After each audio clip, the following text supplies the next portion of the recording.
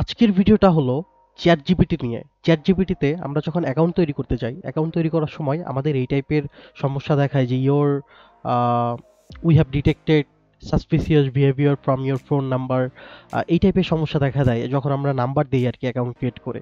So এই টাইপের সমস্যা থেকে কীভাবে মুক্তি পেতে হয় আজকের এই ভিডিওতে কিন্তু আমি সেই জিনিসটা দেখাবো যেটার খুবই সুন্দর এক ছোট একটা সলিউশন তো প্রথমে আমরা চ্যাট জিপিটির যে ওয়েবসাইট আছে চ্যাট জিপিটি লিখে আমরা সার্চ করতে পারি। চ্যাট জিপিটি লিখে সার্চ করার পরে চ্যাট জিপিটির ওয়েবসাইটে যাব try Chat GPT so Chat GPT আমরা এখানে সাইন আপ দিব, কারণ আমরা নতুন একটা অ্যাকাউন্ট ক্রিয়েট করব অ্যান্ড যে সমস্যাগুলো হচ্ছে সেইগুলো আমরা ট্রাই করব। তো, আমরা আমাদের যে মেইল অ্যাড্রেস আছে সেটা ওখানে দিয়ে দিব। সো আমরা আমাদের মেইল অ্যাড্রেস কপি করে নিয়েছি। আমরা মেইল অ্যাড্রেস কপি করে কন্টিনিউ চলে যাব। তারপর একটা পাসওয়ার্ড দিতে বলেছে। আমরা আমাদের মন মতো একটা পাসওয়ার্ড দিয়ে দেবো। ওকে, আমরা আমাদের মন মতো একটা পাসওয়ার্ড দিয়ে দিয়েছি।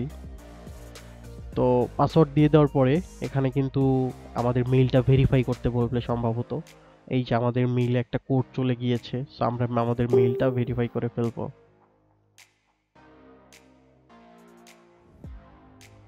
তো আমরা আমাদের মেইলটা ভেরিফাই করে ফেলেছি, এখন আমাদের নাম দিতে হবে। ধরুন আমি আমার নাম দিলাম।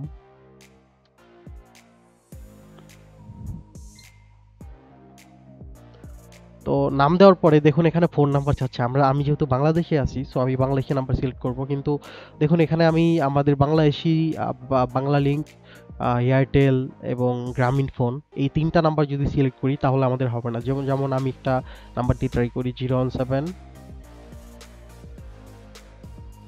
আমি নাম্বারটা একটু হাইড করে রেখেছি প্রাইভেসি সংক্রান্ত কারণে।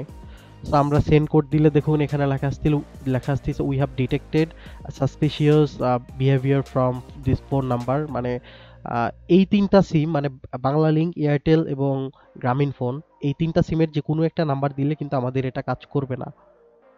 তো আমাদের এর জন্য কি করতে হবে? আমাদেরকে রবি অথবা টেলিটক এই দুইটা সিম আমরা ইউজ করতে পারি।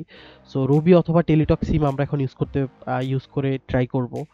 আমি অন্য একটা নাম্বার দিয়েও যদি ট্রাই করি, তাহলেও কিন্তু এটা দেখুন কাজ করবে না। তো আমি এখন একটা টেলিটক নাম্বার দিয়ে এটা ট্রাই করব। তো আমি আমার টেলিটক নাম্বারটা কপি করে নিয়েছি। এখন আমি নাম্বারটি এখানে পেস্ট করে ফেলব। নাম্বারের পূর্বের এই দুটো সংখ্যা কেটে দিব। দেখুন টেলিটক নাম্বার দেওয়ার সাথে সাথে যখন আমি সেন্ড কোড দিব, তখন কিন্তু আমাদের ফোনে কোডটি চলে যাবে। সো কোডটি যখন আমাদের ফোনে এস এম এস এর মাধ্যমে চলে যাবে, আমরা এখানে এই কোডটা যদি দেই, তাহলে কিন্তু আমাদের অ্যাকাউন্ট ক্রিয়েট হয়ে যাবে। সো নর্মালি যে প্রবলেমটা হয় বাংলাদেশের যে এই যে দেখুন, আমার কোডটি কিন্তু চলে এসেছে। তো দেখুন আমি আমার কোডটি দিয়ে দিয়েছি এবং আমার কিন্তু অ্যাকাউন্ট সাকসেসফুলি ক্রিয়েট হয়ে গিয়েছে।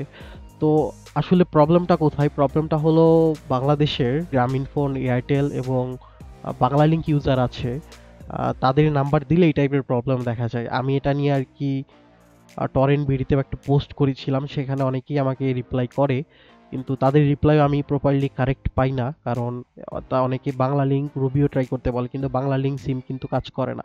তো অনলি টেলিটক এবং রবি সিম কিন্তু কাজ করতেছে, আমি এখানে একটা সলিউশনও দিয়ে দিয়েছি, এই যে solve only Robi and Teletalk numbers are working এইগুলো কতদিন কাজ করবে জানি না। সো আমি যেহেতু অনেক আগে থেকেই এটা ট্রাই করতেছিলাম, আমার কাজ করতেছিল না। তো আপনারা এই দুইটা সিম দিয়ে ট্রাই করতে পারেন।